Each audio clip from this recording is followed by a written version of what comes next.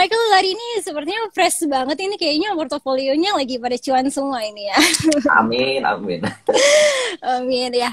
Ko Michael, uh, sebelum kita ngebahas lebih lanjut lagi nih, nah kita mau tahu dulu dong bagaimana pergerakan indeks harga saham gabungan pada seminggu ke depan. Ya, jadi IHSG, uh, I think investor tuh menyambut positif ya kenaikan harga BBM karena memang ini uh, disinyalir uh, nanti beban pemerintah terhadap subsidi BBM itu akan semakin rendah. Dan IHSG saat ini berada persis tepat di resisten. Jadi resisten IHSG itu ada di angka 7000 sorry sebentar 7230 dan nanti ini potensinya sesi 2 kesentuh nih. Nah, seandainya IHSG mampu closing di atas 7200 let's say, maka dalam satu minggu ke depan IHSG akan menuju all time high-nya. All time high-nya IHSG itu di 7300 kan. Oke, okay.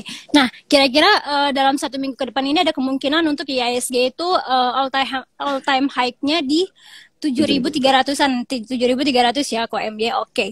Nah, kok seberapa besar sih dampak sentimen kenaikan BBM terhadap pergerakan IHSG kita nih? Kalau kita bicara secara garis besar ya, sebenarnya kenaikan BBM itu most likely hampir semua sektor bisnis akan terimbas. Yang paling pertama itu ya pasti sektor transportasi dan logistik karena supply chain kemudian supply chain karena ini sorry transportasi dan logistik itu biaya mereka most likely paling besarnya itu di bahan bakar terutama minyak nah sementara kalau untuk turunan-turunan dari transportasi dan logistik itu pasti bakal kenanya ke consumer kak. Jadi barang-barang consumer kebutuhan sehari-hari kita kayak sabun, kayak minyak itu biaya logistiknya itu pasti bakal keganggu dan akan menyebabkan harga naik. Nah kalau pengaruhnya ke IHSG sendiri kita perhatiin semenjak udah dua minggu kemarin IHSG itu foreign selalu rutin kak, rutin akum. Jadi kenaikan BBM kali ini tuh I think itu disebut positif oleh investor. Oke, berarti tadi untuk uh, kenaikan BBM yang emiten-emiten yang ada mengenanya dengan transportasi itu kira-kira tadi kesimpulannya mengalami penguatan apa pelemahan ini ya kok MY? Perlemahan kak, karena biaya Perlemahan mereka, ya. Kos mereka paling gede itu dari let's say bensin gitu. Contohnya kayak mungkin kalau saya sebutnya kayak Bird itu 38% kos mereka itu dari harga BBM kak. Jadi dengan kenaikan harga BBM ini itu akan menekan pendapatan mereka. Jadi bottom line mereka akan berkurang. Oke, kira-kira perlemahan tersebut akan sampai kapan ya OM ya? Apakah seminggu dua minggu ke depan bakal ada dampaknya juga untuk emiten-emiten uh, transportasi? Nah, kalau kita berkaca maybe uh, karena kenaikan harga minyak ini kemungkinan akan sustain ya, karena kita lihat harga indeks acuan Sri Mulyani, Sri Mulyani itu kan memakai harga indeks acuan rata-rata harga minyak bumi yang saat ini berkisar antara 90 sampai 95. Nah, so selama kenaikan harga minyak ini masih tinggi, itu akan mengejar pendapatan dari perusahaan-perusahaan transportasi dan logistik maybe paling enggak setidaknya satu kuartal. Jadi let's say I can say tiga bulan itu mereka bisa ketekan. Panjang juga ya, masih lama juga ya ini. Yeah. Iya yeah, oke. Okay. Nah kok kalau misalnya uh, perkembangan emiten batubara saat ini nih kok uh, di tengah harga batubara yang masih tinggi selain bumi emiten bumi saham emiten mana lagi yang uh, layak untuk kita cermati? Nah, kalau kita bicara, wah Kak Nadine mention bumi ya. Jadi kalau yeah. kita bicara uh, emiten tambang batu bara ya saat ini di antara perlemahan komoditi ya. Jadi oil itu kan turun dari seratusan turun ke sampai 90-an. Kemudian nikel juga turun, timah juga turun, copper juga turun. Yang paling kuat itu adalah batu bara. Jadi acuannya Newcastle Coal, contohnya thermal coal itu masih bertengger di antara 350 dolar sampai 400 400 dolar per Agustus kemarin, di saat semua komoditi drop, Newcastle Coal itu hanya turun tipis. Turun hanya 0,74 persen. Nah, so we can say that hampir semua saham batu bara itu mengalami penguatan yang signifikan. Meskipun mau ke mana pun IHSG, kita bisa lihat uh, penurunan saham coal itu paling terbatas. Nah, kalau kita bicara emitennya, saya prefer ke seandainya nih, nanti harga coal jatuh.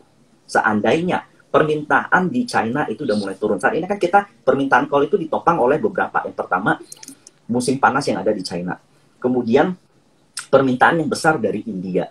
Lalu ada supply shortage yang muncul di antara perang antara Rusia dan Ukraina sehingga mereka beralih ke call. Seandainya, seandainya permintaan terhadap call menurun, maka saham yang harus dipilih itu adalah saham call emiten yang punya transisi nanti ke depan ke energi terbarukan, which is itu saat ini adalah Adaro.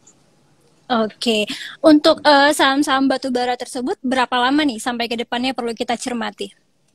Ah, kalau seandainya ini saya, saya sampai akhir tahun ini ya, menurut saya itu apalagi di akhir tahun itu bakal ada winter session kak, musim dingin yang ada di luar okay. itu permintaan batu bara akan semakin tinggi. Jadi sampai akhir tahun itu boleh dikatakan hampir semua emiten call itu bakal bagus, bakal bakal baik menurut saya pergerakannya. Tapi kalau untuk long term, saya lebih memilih saham emiten batubara yang punya transisi ke energi terbarukan, which is itu Adaro yang itu untuk long term. Tapi kalau untuk short term sampai Desember ini, all the energy sector will be good. Oke, okay. kalau untuk uh, emiten uh, ADRO tadi, Adaro tadi, uh, apakah saat ini uh, menjadi waktu yang tepat untuk kita buy dalam waktu long term, atau kan uh, menunggu beberapa saat lagi sampai sampai menyentuh support nih kok? Nah, per hari ini ya Adaro itu menuju harga tertinggi all time high-nya dan okay. all time high Adaro itu di angka kurang lebih 3.700 kalau kita berkaca di Juni kemarin. Jadi alangkah baiknya ya kalau seandainya kita bisa entry di dekat-dekat 3.700 karena every rally pasti ada pullback-nya. Nah, ketika pullback Adaro itu di 3.700 which is itu uh, fair price lah bahas secara teknikal. Oke, tapi sobat investor sekali lagi disclaimer on ya, ya kan kok MW bukan ajakan jual maupun beli. Sobat investor juga harus bisa mencermati dan bagaimana waktu uh, menentukan bagaimana waktu yang tepat untuk masuk. Nah, kok uh, selain selain saham emiten batubara nih, bagaimana kinerja di saham-saham sektor energi lainnya? Nah, kalau kita bicara sebenarnya energi proksi utama kita itu coal, Kak. Nah, yang lain tuh biasanya uh, agak anak tiri gitu. Nah, oh, tapi yang tiri. paling mendekati, yang paling mendekati dengan energi itu kita punya oil and gas. Nah, kalau in my opinion, salah satunya itu adalah MDC. Jadi MDC kemarin kan laba uh, labanya baru keluar, itu naik 480 persen, hampir lima kali lipat dibanding dengan tahun lalu. Bayangkan. Itu alasannya kenapa? Karena ternyata volume penjualan MDC itu naik 60 persen, sementara harga oil naik 60 persen, harga gas naik 30 persen. Tapi bukan cuma itu. Salah satu penyuplai kenaikan dari harga MDC dari laporan keuangan itu adalah akuisisi ConocoPhillips. ConocoPhillips itu perusahaan oil terbesar di Asia, kalau nggak salah saya, atau di Indonesia. Dan itu akan bisa membuat ke depan itu jadi game changer dari MDC. Jadi kalau kita bicara sektor energi lain, in my opinion MDC yes, selama harga oilnya juga masih bertahan saat ini stabil di 90-100 dan dengan banyak story akuisisi yang dilakukan oleh MDC, nah ke depan menurut saya MDC itu masih berpeluang bergerak ke atas.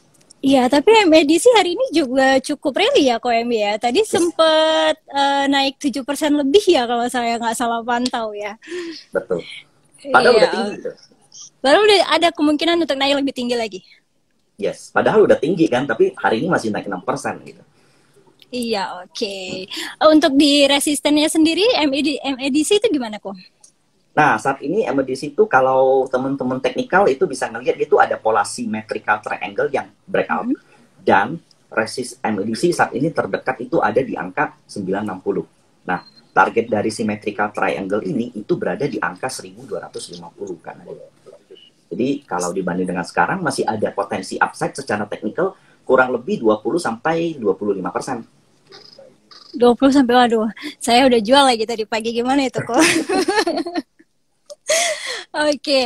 uh, eh, ke uh, apakah sektor properti cukup menjanjikan gak nih dalam kondisi ekonomi sekarang nih? Bagaimana rekomendasi dari saham-sahamnya nih kok? Kalau kita bicara sektor properti, saat ini valuasinya diperdagangkan very cheap, amat murah gitu. Cuman ada satu tantangan dari perusahaan dari sektor properti adalah kenaikan interest rate. Jadi kenaikan suku bunga itu tentunya akan meningkatkan biaya KPR bunga KPR itu pasti bakal meningkat. Cuman terlepas dari itu, kita bisa lihat eh, hampir semua penjualan sales daripada properti itu meningkat pesat. Jadi mulai dari BSD, SMRA, Ciputra itu semuanya meningkat pesat. Tapi memang dia punya trade, punya ancaman dari kenaikan interest rate. Nah, katalis positifnya apa? Adalah kenaikan komoditas. Jadi kalau harga CPO naik, kemudian harga batu bara naik dan harga-harga komoditas yang lain naik, masyarakat bakal willing to buy property. Nah, jadi kalau kita bicara properti, for long term, it's okay. Saya bullish, tapi untuk short term sementara belum. Nah, emiten terbaiknya, uh, salah satu penjualan yang dicatatkan paling agresif tahun lalu itu BSD, Bumi Serpong. BSD, oke. Okay. Nah, aku tadi selain properti ya, aku uh, kalau misalnya dari uh, harga minyak atau BBM ini lagi naik ataupun mengenai suku bunga, apa nggak sebaiknya ada uh, uh, perpindahan dari emiten ke nikel nih, kok? Emiten nikel nih maksudnya yang perlu kita pantau atau kita cermati. Oke, okay.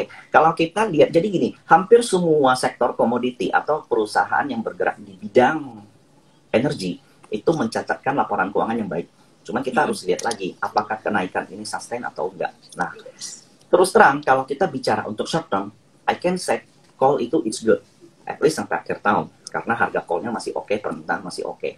Tapi kalau kita bicara untuk long term, I don't think so. Harga saham, harga call bisa bertahan seperti ini. Nah, kalau untuk perusahaan nikel sendiri gimana? Seperti kita punya Antam, Tins, kemudian punya Inco, kemudian punya MDKA game changer dari nikel itu adalah EV play atau electric vehicle dan green energy. Jadi eh, perusahaan-perusahaan nikel itu uh, disinyalir jauh lebih ramah lingkungan daripada perusahaan-perusahaan yang memakan polusi besar, contohnya perusahaan oil dan coal. Nah, kalau kita bicara saham nikel, for long term, at least kita bisa lihat tahun depan atau 2, 3, 4 tahun lagi, ini akan menjadi primadona Oh, prima Untuk okay. Indonesia, yes. Jadi uh, untuk short term, Aken, Aken saat ini masih sosok sideways, dibilang bullish juga enggak, dibilang bearish juga enggak. Tapi for long term, untuk teman-teman yang mau nabung ke depannya, perusahaan-perusahaan yang berbasis nikel itu which is very good. Oke, okay. itu sama itu berarti berlaku untuk seperti TINS, HRUM, ANTM dan lainnya ya kok ya? Yes, betul.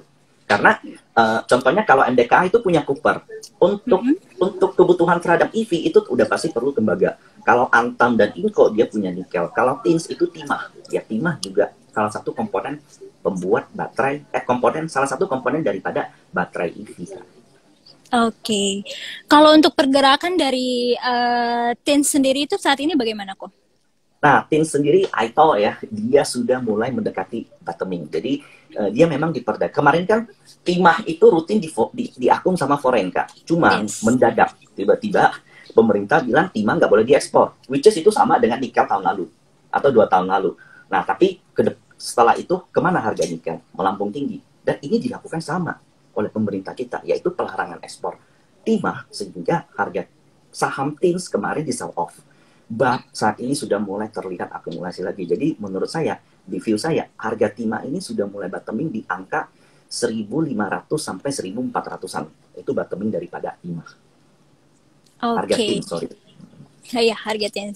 Berarti kalau untuk uh, emiten nikel ini kita bisa uh, long term sampai 3 atau 4 tahun ke depannya itu bakalan menjadi primadona ya kok ya. Nah, kok uh, selain sentimen kenaikan harga BBM, kita ini masih belum selesai dengan sentimen sinyal suku bunga nih kok. Nah, bagaimana sih itu pengaruhnya terhadap indeks harga saham gabungan? Karena juga lagi didengar-dengar nih sampai akhir tahun suku bunga Indonesia juga akan naik menjadi 4.75. Hmm, Oke, okay. jadi gini, uh, terakhir ya kalau kita bicara suku bunga The Fed, terakhir Powell dalam meeting Jackson Hole meeting, meskipun inflasi turun, dia tidak akan mengendorkan view dia. Jadi dia tidak akan dovish, dia masih hawkish, dia masih melihat ekonomi bertumbuh pesat sampai inflasi menyentuh angka 2 persenan. Saat ini masih 8, jadi masih jauh kalau kita bicara lower low interest rate. Jadi kita bisa berekс, investor tuh berekspektasi kalau the Fed bakal masih agresif menaikkan suku bunga, which is kurang lebih 0,5 atau sampai 0,75. Nah, bagaimana dengan Indonesia? Indonesia juga wajib kak menaikkan suku bunga kalau di opini saya. Apalagi kemarin harga BBM naik. Kalau harga BBM naik, ongkos logistik, ongkos transportasi, ongkos barang-barang consumer itu semua bakal naik. Kalau itu naik, akan kecipta inflasi yang gila-gilaan di luar. Gimana cara meredamnya? Yaitu e, memancing orang menabung. Gimana cara memancing orang menabung? Yaitu menaikkan suku bunga. Karena kalau return besar, orang jadi pengennya nabung. Nggak usah belanja-belanja dulu lah, gitu istilahnya. Nabung aja, biar inflasi nggak gila-gilaan. Masalahnya kan satu, kalau seandainya semua menabung, nggak ada yang mau belanja, ekonomi kita gimana? gitu. Nah makanya pemerintah memberikan bantuan tunai yaitu BLT kepada masyarakat di golongan kelas bawah atau kemarin juga ada uh, ada ada satu insentif di mana kalau seandainya UMR di bawah tiga juta lima ratus itu dapat BLT dari pemerintah which is iya, benar. itu very good. Itu very good untuk untuk ekonomi kita. Jadi pengaruh terhadap IHSG kenaikan suku bunga menurut saya tidak terlalu signifikan selama Indonesia juga menaikkan suku bunga